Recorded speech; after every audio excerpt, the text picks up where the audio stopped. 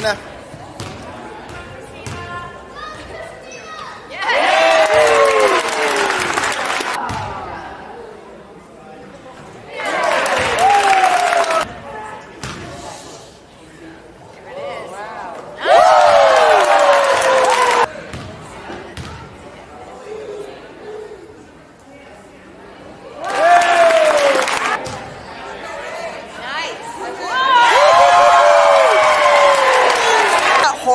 but they, nobody else needs to know.